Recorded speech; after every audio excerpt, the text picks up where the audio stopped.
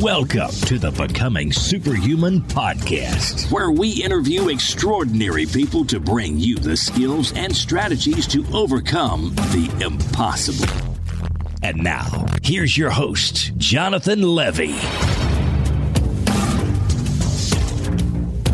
This episode is brought to you by Organifi. You guys, one of the only things that every nutritional expert that we've had on the show seems to actually agree on is that we all need to eat more vegetables, eat more greens, eat organic, cut out all the processed junk.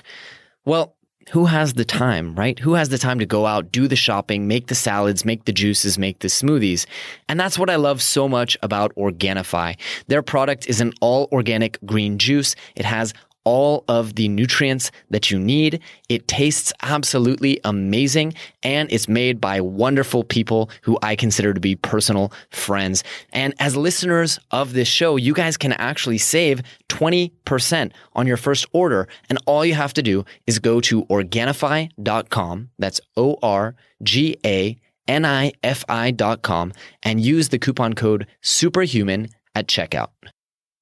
This episode is brought to you by Become a Super Learner, the masterclass. You guys, if you have ever wanted to learn things faster, to read faster and waste less time reading boring textbooks, if you've ever wanted to have near perfect memory for names, numbers, anything you want to learn, and expand your mind and retain information in a way that you never thought possible, well, then the Become a Super Learner Masterclass is exactly what you've been looking for. It's a 10 week program developed by myself and my mentors alongside some of the world's best memory experts and world record holding memory champions. It'll take you from zero to super learning hero in just a matter of 10 weeks in about 30 minutes a day or less. Now you can go ahead and sign up for a free trial with no credit card required. All you have to do is go to jle.vi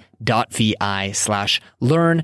And if you choose to pick up the full course, you will also get an incredible discount for listeners of this podcast only. So please make sure to check it out and support the show. And on to today's episode. Greetings, super friends, and welcome to this week's show. You guys might remember that last week I teased, threatened that I'm going to continue doing the show as long as you guys continue sharing ideas and posting reviews. This week, we do have a review, so we do have an episode. Essentially, this episode is kind of sort of brought to you by Todor.m from Bulgaria, who says, My favorite podcast, five stars. This is probably the first podcast I listen on iTunes and one of the few that I've listened to every episode. So many awesome things to learn on different topics. Thank you so much, Todor, for making sure that I put out an episode this week. And for the rest of you guys, if you haven't left a review, well, leave a review so I can keep putting out episodes. They really give me the energy to do all the work, to produce the show, to uh, stand here in front of the microphone for hours and research guests and get them on the line. On to today's episode. You guys, today we are joined by Jenny Blake. And I have to tell you, she and I really, really hit it off. We really had a great time chatting. She's an author, a speaker, a career coach, business strategist, and much, much more. She wears a lot of different hats, uh, but she's mainly the author of Pivot. The only move that matters is your next. It's a great book about life path, deciding what's right for you, being happy and satisfied in your career. She also hosts a pivot podcast and she has a private momentum community. She trains coaches all over the world. She's been featured on CNBC, New York Times, Sunday Times in the UK. Basically, she is an awesome superwoman and she shares a lot of my passions for entrepreneurship, lifestyle design, and as I found out, kind of surprisingly geeked out on productivity, productivity tools, and how to hack your workflow so that you can get more done. She and I both shared that uh, in the last few years, we have worked less than ever before and earned more and impacted more than we have in our lives. So you're going to get a ton out of this episode, guys. And if you listen to the end, Jenny also shares a lot of great free resources that you can download from her website to do some free homework and uh, decide if a pivot in your life is what what you need, what you need to do next. So, without any further ado, I'm very excited to introduce you guys to my new super friend, Ms. Jenny Blake.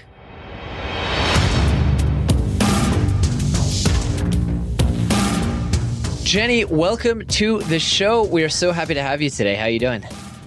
Thank you so much for having me. I'm thrilled to be here. Doing well.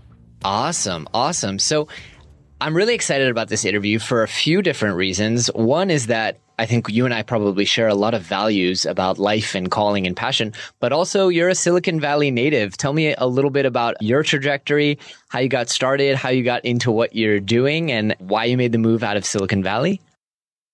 Cool. I can start by saying that if anyone has seen the TV show Silicon Valley, it's pretty much a documentary. Yep. As in, it is not even an exaggeration. I mean, it, it is, but in so many ways, it captures the essence of the area perfectly. I grew up in San Francisco and then moved to Palo Alto for middle school and high school.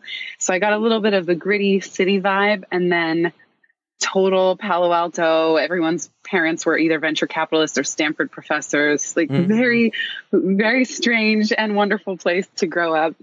And yeah, my my general story is I you know what's funny? I came to New York City when I was 9 years old and fell in love with it somehow. And to this day when I walk over a subway grate, I live in New York, it's been 6 years, and a whoosh of hot stuffy subway air blows in my face and taken back to that moment when I'm nine years old. And so, in some ways, I feel like I always wanted to get to New York and I loved growing up in Silicon Valley, but I always had an itch to leave.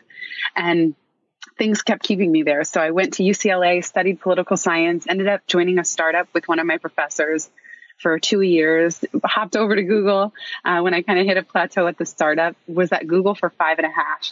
And everything kept keeping me in the valley. So the startup was Palo Alto, Google, Mountain View. And so when I made the decision not to go back to Google after my first book was coming out, that's when I packed up my stuff, moved to New York City, and decided to go all in on seeing if I could make self employment work.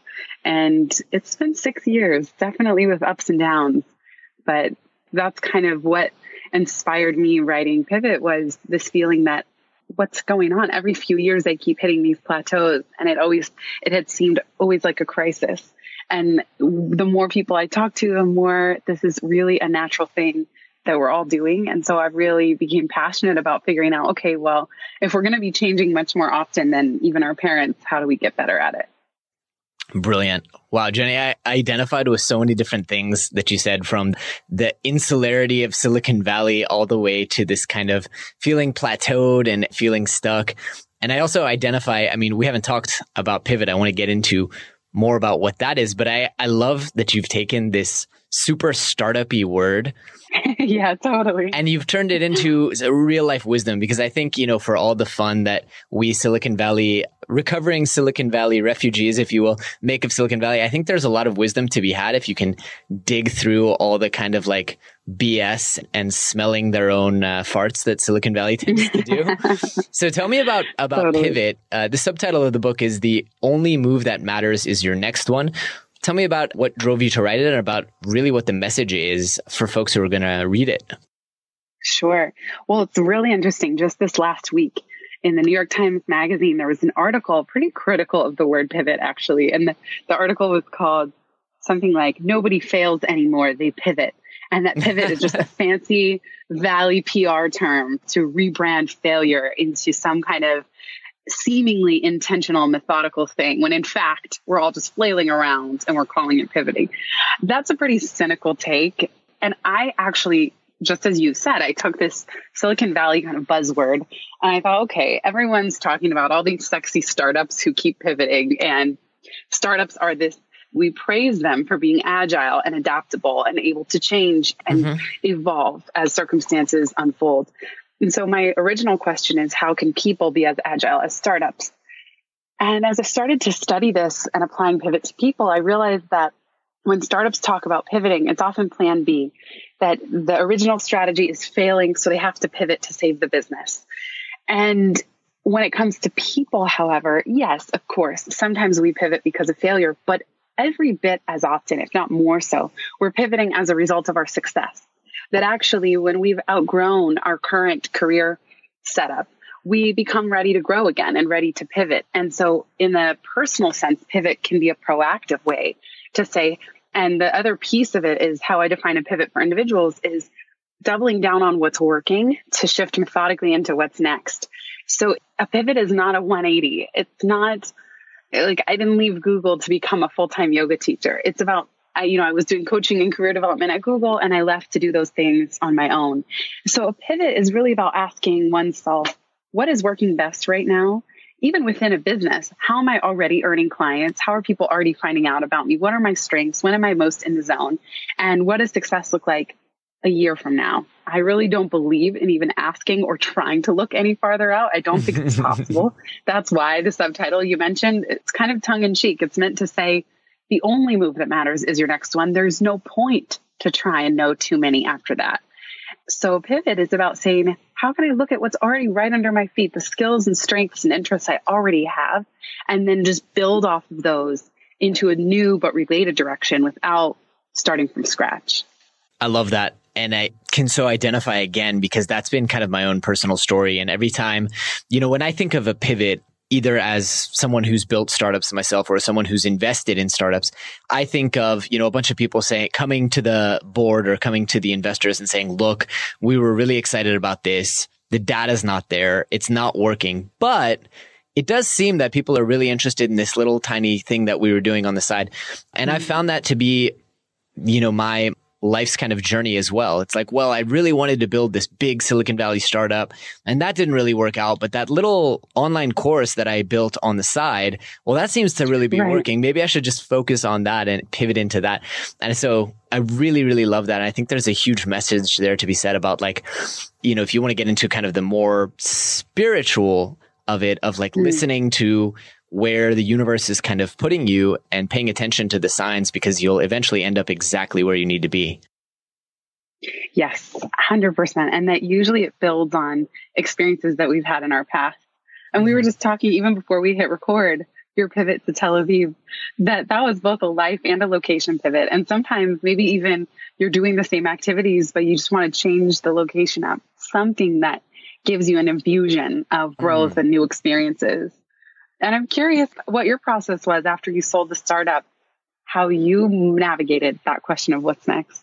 Yeah. Well, so I sold the startup and I was kind of miserable. I, I, should have been very happy. I had a big check in my pocket. I had a, a fancy house and a fancy car and and friends and but I was unhappy and I felt unfulfilled and I felt that what I'd done previously, which was luxury goods in e-commerce, didn't have meaning and didn't have value. And I, I, had the chance to meet some really great entrepreneurs from, you know, the founder of Twitter to Magic Johnson to John Paul DeJoria. And each of them kind of had alluded, told me, spoken on stage to the fact that, you know, doing good is good business and that, you know, your business activity should really make an impact on people. So I was in a kind of low place and I, you know, went to volunteer for a few weeks and then I applied to business schools abroad and it was, almost exactly like you say, just trying a bunch of different things, trying to launch a startup while I was uh, in business school, coming back to Silicon Valley to see if the shoes still fit, realizing that it didn't, coming to Israel, you know, working with, advising 10 different startups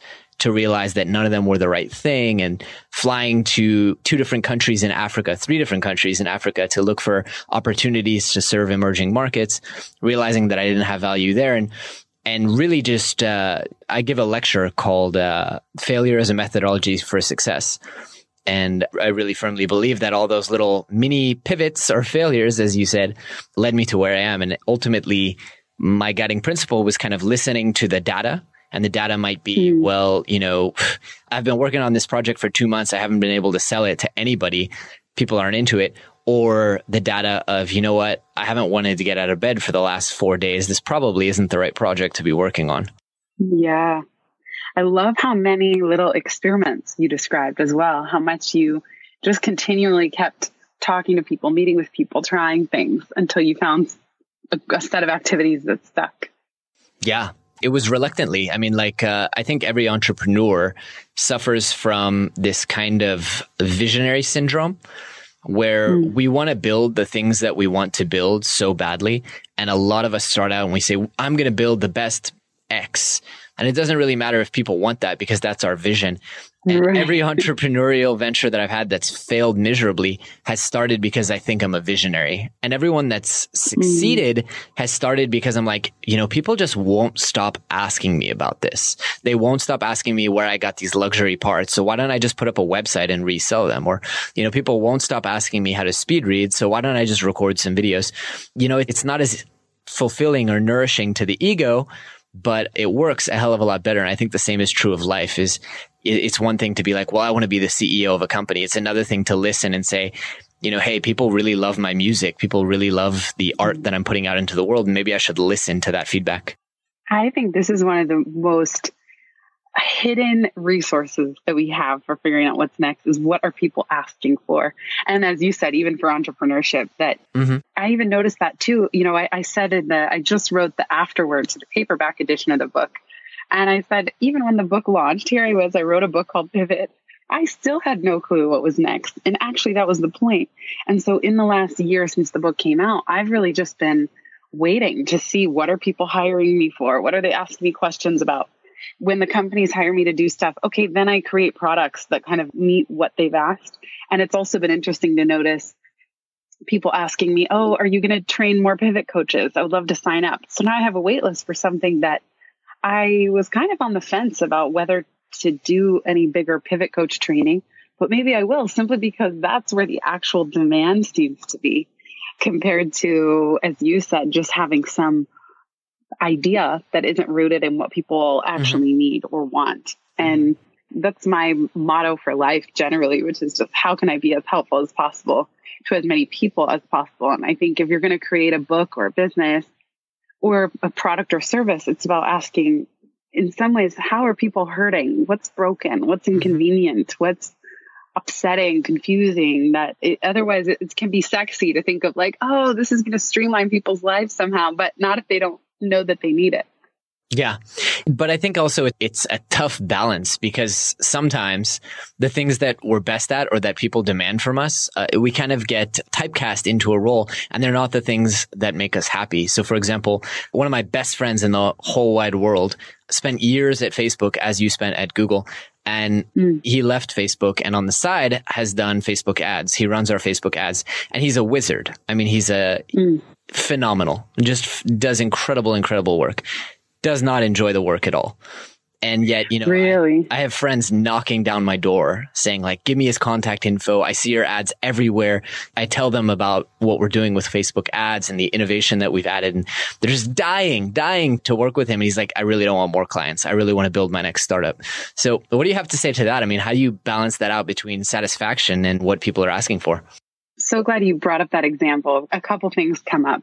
One, uh, Gay Hendricks in his book, The Big Leap, he talks about how we all have four zones a zone of incompetence, competence, like, yeah, you can get the job done, excellence, you're actually good at that job, and a zone of genius. And it sounds mm-hmm. like your friend is in his zone of excellence. He's good at it, he's delivering it, but it's not his zone of genius. He's, I mean, even if it's the output is genius, as you even described, he doesn't feel like that. Right. The second thing, many, many people have some kind of side hustle, even if they're an entrepreneur, that is funding the stuff they really want. So there's nothing wrong with using a skill set like that to build a runway or an incubator for the thing that he really wants to do. So sometimes it's just about shifting the mindset of, hey, this isn't forever. It's serving a very important function, which is bringing in revenue while I build this other thing. Totally. And the third thing I would say is it sounds like he really has an opportunity to create some systems around his process and even bring on one or two people below him, teach them how to do his method so that he's managing the work that's getting done and he may even still approve it, but he's not the one in the trenches. Because I can understand that for someone as strategic as he is and experienced, he doesn't necessarily need to be the one writing ad copy but he could easily systematize and delegate and automate in such a way that he could still earn that income, but not be doing all the work. Totally. I agree with you completely once again. Jenny, I want to ask you because I want to get into kind of some practical stuff for our audience. I want to ask how do people know if they need a pivot? I mean, I've talked to a lot of people and I'm kind of very outspoken about loving what I do most days. The last couple days, not as much, but most days I love what I do. and people have often told me, they're like, well, you know, not everyone is as lucky as you. You know, a lot of people just hate their work and do their job just to pay the bills. And I don't agree with that. And I sense that you don't agree with that. And so I'd, I'd love to ask, what are the signs that people need a pivot? And then the next question how do they go about mustering the courage? Mm. Because I know it's very easy yeah. for us entrepreneurs to be like, well, I failed. All right, now what? But, you know, for someone who's in a steady job or in a steady, maybe they're doing a PhD program that they just don't love, it's pretty hard to walk away. Yeah, definitely. Well, sometimes we go through a dip or you just need rest. Like in your case, if the last few days have kind of been a dip, it may be that you need to just take a break and step away. Mm-hmm. And that may or may not mean that you come back and make some changes. But in your case, let's say in a, in a short term situation where you generally like the macro container that you're in, you might look at and see, well, what am I doing that's really working and that I, I look forward to on my to do list? And how could I stop or delegate some of the stuff that is grating and just bringing, weighing you down, causing friction? So I'm a big fan of systems and delegation for that kind of stuff. But then for someone who is, and absolutely, I don't agree that, oh, well, a lot of people really hate their jobs doesn't mean we should just sit here and be complacent. I mean, I wrote this book, I call them for uh, high net growth individuals, but we've heard the term high net worth. But money is not everything. And especially if you're a high net growth individual, you are going to get antsy. You are going to get bored and you are not going to be happy to just work for the money alone. Like you described with your 1st mm-hmm. startup, I talked to a lot of people who are in marketing or finance jobs where they feel empty and they want work that has more of a legacy behind it. So for the person who, how do you know you're at a pivot point? Well, if you feel bored, if you feel kind of blah, like you look ahead and you're not that excited, you don't feel that you're using your best strengths or talents, you don't really look forward to what you're doing, you don't feel that it's making an impact and you don't feel like you're growing. And this could be any spectrum of this. It could be a vague whisper or it could be just a loud screaming, mm-hmm. you know, universe is trying doing everything it can to get your attention kind of a thing. And the key is to not try and solve the whole thing overnight. It's not to quit your job and start a company immediately. It's look for small ways that you can pilot or experiment with potential solutions, just like you described, Jonathan, where maybe someone can take on one small side project or pitch in on a project at work that's not on their team or that's in an area they're interested in or that would give them great connections or experiences. So the pivot process is not about trying to crack the career conundrum all at once. That's very overwhelming. And it often sends people into a panic zone. Like if they thought they had to quit their job and start from scratch, it would be terrifying. But instead, thinking about what is it, do you have ideas? of what you want to do? How can you build off of where you are right now and then set up experiments that would just take an hour a week or a couple hours a week that allow you to understand what I call the three E's. Do I enjoy this new area? Can I become an expert at it? And is there room to expand either within your team, within the company, or within the marketplace? I love that. The message that I really take away from that is you know, progress, not perfection, as a friend of mine often tells me, but also just this kind of meta observational process of testing and then listening to yourself and to your environment and kind of not doing things in one fell swoop because you think that's the way that it, it works in the movies where, you know, someone packs their shit and takes off, but rather going in slowly, cautiously, testing, gathering data. I mean, it, it really yeah. I think the title of your book is perfectly chosen because it so mirrors the way that data driven companies or startups mm. really get into change and create innovation. Yeah. And just finding the one next step, which is one next thing you can do. And if someone's feeling stuck, it's very easy to focus on what's not working and what you don't want and what you don't have. And that doesn't ultimately propel the conversation forward. So better if you can take some time, even if it's all happening internally right now, to say, what is working? What do I enjoy? What am I looking forward to? What do people come to me for advice on? What problems are people asking me to solve or can I solve? I really like that. And I also, I share your belief that I think everyone has a gift to give. Not my mm-hmm. idea. I believe I lifted it from Tony Robbins, but this idea that, as you said, based on someone's biography, no matter who you are and no matter what you've experienced, good or bad in life, that uniquely suits you to solve problems for people who have faced similar successes, challenges, whatever it may be in their own lives. And so it, it, really is, as you said, all about service, whether that's serving a market, serving people, serving a community. Yes, absolutely. And that ultimately that's what's so rewarding is feeling, yes, I'm growing personally and I'm making an impact and serving. Absolutely. and it doesn't have to be serving the world. You know, not everyone's going to have the same grandiose vision, but even just serving a small population that you care about makes a big impact. Definitely. As I said, I've made a living off helping people serve their egos with fancy, you know, luxury goods. And I've made a living off mm-hmm. helping people achieve their goals with accelerated learning courses. And it's not only a lot more profitable to help people in a real mm. way that impacts their lives, it's also a lot more rewarding. Mm, love it. Yes, absolutely. So, Jenny, I want to ask you because I think probably the biggest challenge I'm going to guess that you face with your readers. One of my biggest challenges is getting people to actually do the homework in my courses. But I imagine the mm. biggest challenge when people read your book is getting them to just start. I often believe or tell people that I think that life follows Newton's laws of motion, meaning that a body in motion wants to stay in motion, but a body at rest wants to stay at rest. And if people don't make even just one small, simple change, that they'll stay at rest. And I imagine that it's pretty hard to break that resting inertia. So I wanted to ask you, long way to ask a simple question. What homework would you assign to people? If I could promise you that everyone in the audience was going to do a piece of homework this week, what would you give them? Hmm. Well, one of the most important steps of pivoting is crafting a one year vision of what does success look like, even if you don't know specifics, because if you did, you might already be working toward them. But one year from now, what does success look like? How do you want to feel every day? How do you want to learn and grow? What kind of impact do you want to be making? What is your ideal average day? Who are you surrounded by? Where are you living? All these details.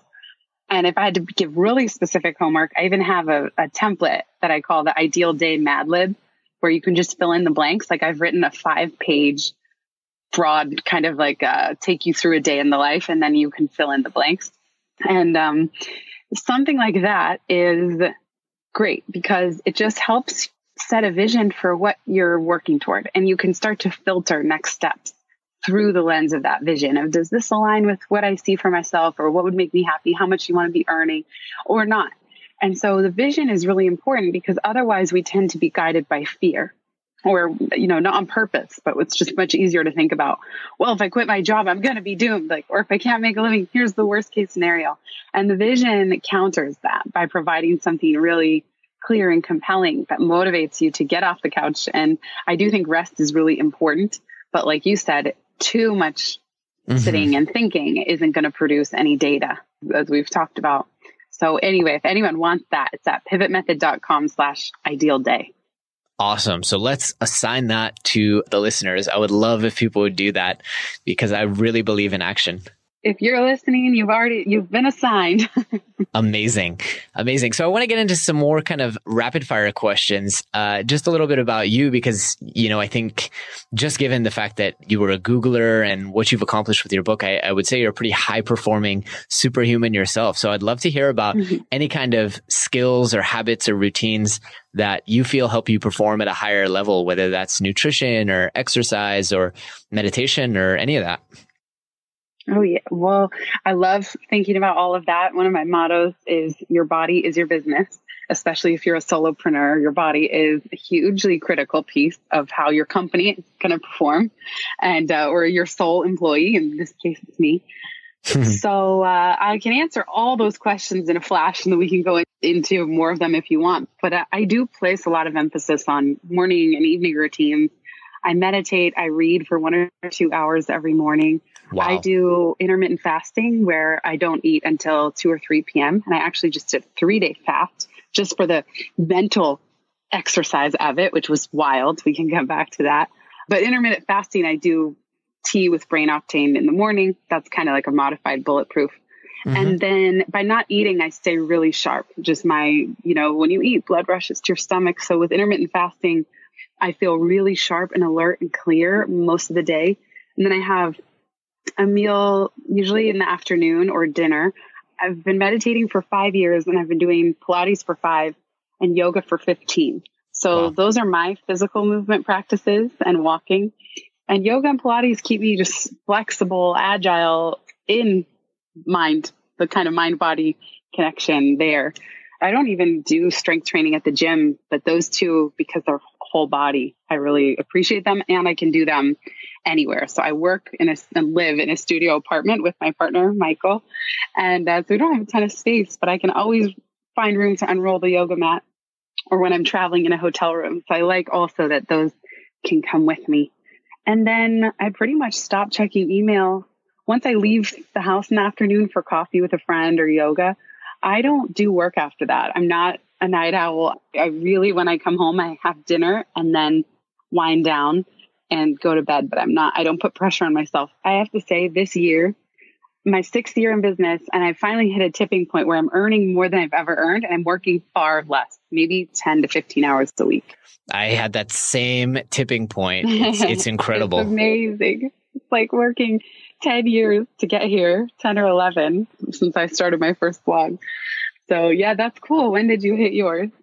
Uh, honestly, about one year into running this business. But for me, I attributed it to the lessons that I learned in my last business, mainly being mm-hmm. that I need to leverage technology and automation and, and really change the way that I look at capitalism and how money works and that making money is just a way of delivering value. And therefore, you yeah. don't actually need human beings such as myself or even my employees to deliver that value. That was the major tipping point that whether or not I work, systems are automated to help people listen to podcasts, learn online courses, all that kind of stuff. Fascinating. What's the system that you're proudest of creating? Honestly, it's one that doesn't actually generate revenue for us, but it's an internal mm. training course that we built. We have an online course called Superhuman Enterprises 101. If anyone is listening, it is not available to you. it is definitely oh. closed to anyone, you know, outside of our company, but it's uh, basically an online course with hundreds of lectures and everyone in the company participates in creating it and it's collaborative and it's always evolving. Basically everything that happens in the company from how we answer emails to what softwares we use to how our marketing funnels work it's all documented in there. So we just hired uh, two new people last week, two new part-time people. And all I have to do is add them to this online course and say, here are the sections that are assigned to you. You start next week. That is so awesome. So you're saying every person in the company are continually updating this course with how things work. In theory, yeah. I have to admit that it, we innovate so quickly on some of the marketing funnel stuff and we test so much different new stuff that it changes faster than we can keep it updated. But then I've built in a self kind of regulating mechanism that every new hire, their first task is to make suggestions for how the course was unclear to them. I love it. That is so great. This whole podcast like is gold for this nugget. Like everybody who's running any kind of enterprise, that is genius. Why, thank you. It, it. it, was a shower innovation when I realized, like, oh uh, you know, we create online courses. So I think everyone who works in our company needs to understand what it's like to take an online course and what it's like to create an yeah. online course.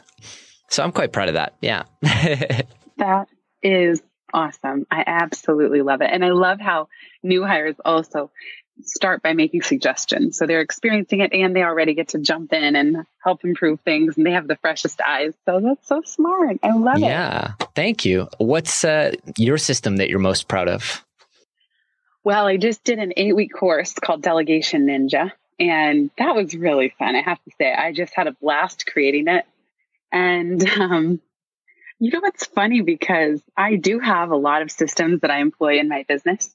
But some of the ones I'm most excited to be piloting are on the personal front that actually, because I really love doing business stuff. For example, I'm about to start one of those meal delivery services where they send three meals and you cook, get recipes and learn to cook. Cool. Can't wait. I had this thing where I figured out that my dry cleaner will come pick up the laundry and the dry cleaning, not just drop it off when it's done, but pick it up. And finding out little things like that that just reduce friction of having a pile sitting by the front door or waiting to go till I have three hours in the day to go do laundry. Things like that, I love figuring out. Like when something is out in my house, let's say I'm on the last paper towel or let's say 10 paper towels away, I add it to my Amazon cart the moment I notice. So I'm never mm-hmm. Without these things. Like there's just, I try not to think about little things more than once. So paper towels are almost out. Okay, add it to my cart right now. It doesn't matter if I check out at this moment.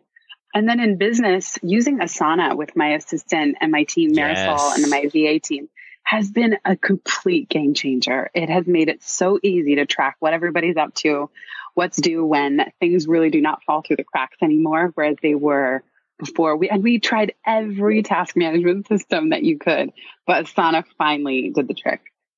Yeah, we use Asana as well. Although right now we're at the point where so much exists in Asana, like everything in our company yeah. exists in there and it's become this monster. So I'm going back to the foundations actually in a tab right now.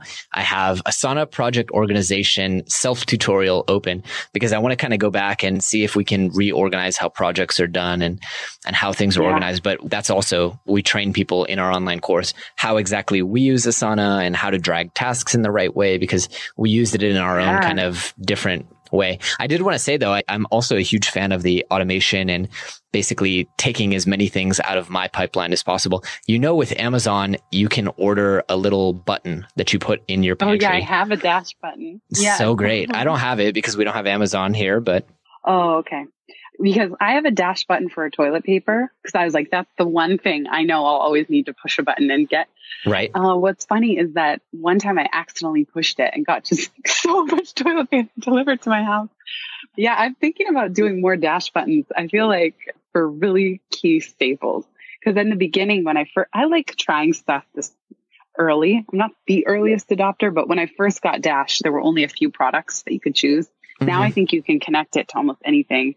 And then I got Alexa when it was not even out yet. Like I like trying these things, even though I think she's probably spying on us. Oh, she's um, definitely spying on you. I know. I'm a big fan of all this stuff. I mean, like, I actually teach a whole course on this, not to plug it, but like, love it. I love how many courses you have. so this is part of the whole automation thing is like if more than two or three people ask me to explain something, I usually record a video and or a course on it. And the productivity course came out of I used to host friends before I worked at WeWork. I would host friends in my home and we would kind of work from my kitchen table.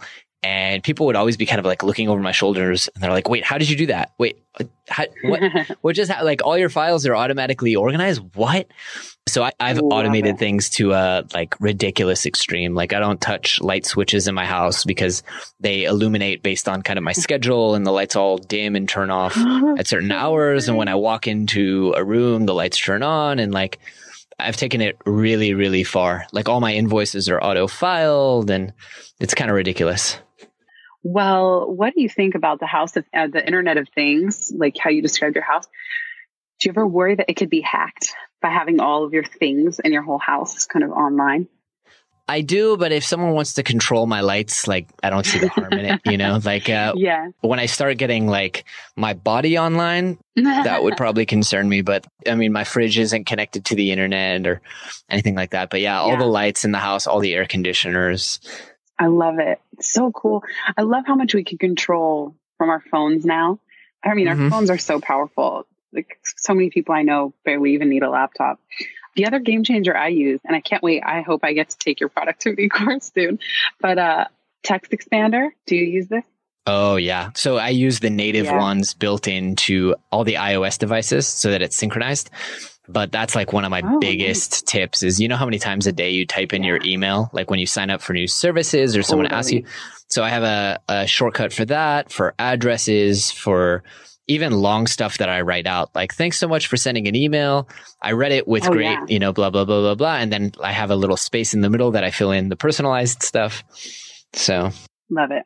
Awesome. So that was a, a lovely productivity tangent. Let me ask this. What are some other kind of products or services that you really couldn't live without? Oh, well, there's the usual, the usuals like Evernote, Dropbox. I mean, those are mm-hmm. my staples. These are, I read an article calling them the new utility companies, and I think it's true. Like Google mm-hmm. everything all my files are on Dropbox so that I can access any file from any device, which mm-hmm, is really mm-hmm. helpful, especially while traveling, being able to send people things. And then I don't have to do manual backups. So I think this is an obvious tip by now, but it's just a game changer for me constantly. Yep. yep. here's a tiny tool that some people might not know about, but Captio for iOS and maybe for Android. Captio is a software where you just open it and can type your memo to yourself and hit send and it emails yourself rather than having to actually email yourself by opening up your email client, typing, hitting new, writing your email address and a subject and sending it. So Captio is a really great just like note. That's cool. That's cool. Yeah. I use a mail to self. So if I'm on any web page anywhere, oh. I can just oh. hit, you go to the little share menu and you can hit mail to self. But I'll check out Captio. Love it. Captio is great for your phone. Very cool. Yeah, you're just talking to someone, oh, I got to remember that. And you just open Captio, type it, and hit send. It just reduces a certain number of steps from actually emailing yourself. Give us one of your must haves. Okay, like I'm giving away the farm here because this is like one of the best tricks. And I'm going to send you the productivity course. I think you're going to like it a lot. But um, followupthen.com. This is a game changer. Is that so, different than follow up CC? Or is it the same? I think it's roughly the same. I'm not sure. I'll, okay. I'll pop open follow up CC, but I send out follow ups like 100 times a day. Someone tells me, yeah, I'll check in on it next week. I send it to next week at followupthen.com and they email me. Yeah. But it also does recurring. So if I want to meet with someone every month, I'll send an email to every 15 days or every 30 days at followupthen.com. I'll CC them and then it'll just email me every 30 days. Love it. And you can do all kinds of like weird stuff. So if you have a romantic partner and you want to know when you need to bring home chocolates and mm-hmm. uh, Midol you can send to every 28 days at ah. followupthen.com. and it's a, uh, it's one of my best relationship tips, let me tell you. that is so funny. What's hilarious is the TMI. I just said to like my partner last night, I was like, just crying for no reason. And I'm like, you know what? You might as well just make a note of it like once a month. like, yes. Just expect it. If you're wondering why I'm like uh, crying for no reason, here it is. Yep. I can't yep. explain it other than that. So follow I like up then. have follow up CC for that purpose. yeah, exactly. or mine follow up CC, but yeah, I use that all the time as well. And even some of my notes to self, I don't even bother sending through Captio. I just do like December 1 at followup.cc mm-hmm. and then I give my note what I might need to remember in December. So, yep. Or Asana. Yeah, I was just gonna say I do that all the time, but I've actually started for the a lot of the recurring stuff. Like you know, it, we donate 5% of our revenues from Super Learner Academy to charity. And I used to just send myself a link to their donation page for the Brain and Behavior Research Foundation. But now I just put it into Asana as a recurring task because it feels good to click done, you know? mm, yeah. Oh, yeah, totally. Well, awesome. So I wanted to ask you one more question before I let you go. You said you read one to two hours a day, which is incredible and a really, really great habit. I want to ask you I'm not going to make you choose a book that's changed your life. I'm going to hmm. ask you for a list of books that have changed your life. Oh, great. Okay. Love it. Oh, so many, so many. Okay. Well, it depends. Do you want like on the business or the spiritual side or? Give me all of them. I think if it, if it's books that have truly changed my life, I loved, it's a quirky book called Outrageous Openness by Tosha Silver. It's about serendipity and uh, just and surrender and flow, kind of finding flow in life. I really loved that book. Loving What Is by Byron Katie. It was just a game changer for rewiring my thinking. And she says that any thought that causes stress, you can choose a different one. And it's this really interesting process of replacing thoughts over and over again as you find yourself believing things that aren't true or thoughts that are causing stress. And she said every stressful thought is a compassionate alarm clock, encouraging us to wake up. So wow. that book really helped me kind of rewire my brain. Anti-Fragile by Nassim Taleb. I just love the concept. The subtitle is Things That Gain from Disorder. Mm-hmm. And he's a great writer, funny, reverent. So I enjoy reading his stuff, really smart. 10% Happier, great book on meditation, especially if you're new to the practice. Mm-hmm. Anchor had a panic attack on national television. And this is his, he's a fidgety skeptic that found his way to meditation. And uh, I could truly go on and on and on, but I think I'll leave it at that for now. That's a good solid list for sure. So many. I have so many more. It does. It hurts me to have to narrow it even to those. Uh, also, the Ching. That's like a classic that I love. Yes. Really, really good one. So, all right. I'm going to let you go, I promise, on time. although we've really hit it off and I'd love to keep in contact and chat, but I wanted to ask you our kind of last question. Before the last question though, where can people reach out and learn more about you and where should we send them to get in touch with you? Well, thank you so much. I know we're both going to have to set up follow ups. Uh, yes, follow up CC. Or Asana test. yeah. Best place is pivotmethod.com slash toolkit. There's a ton of free resources and templates on a lot of the concepts that we talked about today. And then if anyone wants help planning a next move, I have a great team of pivot coaches so that's pivotmethod.com slash coaching. And I also run a private community where I do Q&A calls every two weeks. And that's pivotmethod.com slash momentum. So I would love to keep in touch with any of you listening. And if you do the ideal day exercise, send us an email and let us know how it goes. Awesome. Okay, we'll put all those links into the blog post for the episode. So I want to ask you the final last question, which is if people are really only able to remember one message and they take that message with them for the rest of their lives, what would you hope for that to be? Mm, great question. One message.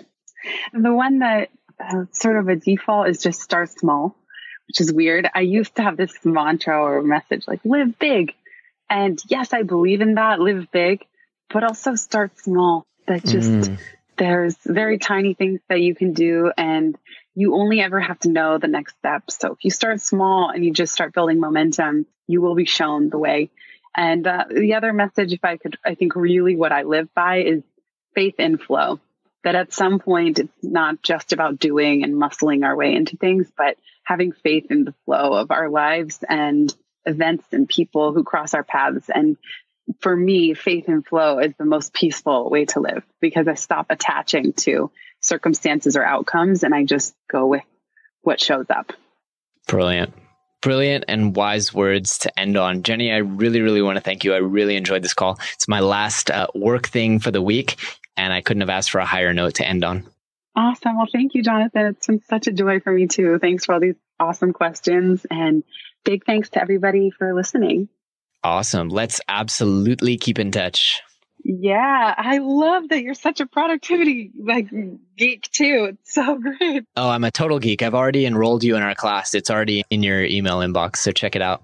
Thank you. You know, one I thought about learning how to create a bot and creating a bot for some of my stuff. I'm curious if you've done that yet.